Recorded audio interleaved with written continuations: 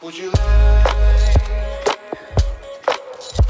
Would you lie to me? Squeezing line. Halo Smart Viewers, kalian pasti udah tahu kan kalau salah satu member dari anggota B2B sedang menjalani wajib militer. Yap, Changsup B2B yang sudah menjalani wajib militer sejak 14 Januari lalu membuat kejutan untuk para penggemarnya loh. Changsup B2B beristirahat sejenak dari jadwal militernya untuk mengirimkan pesan singkat kepada para penggemarnya. Changsup berbagi melalui akun Instagram pribadinya pada 30 Juni untuk menulis agar para penggemar tidak khawatir karena ia baik-baik saja dan ia juga mengatakan bahwa ia mencintai fansnya selamanya.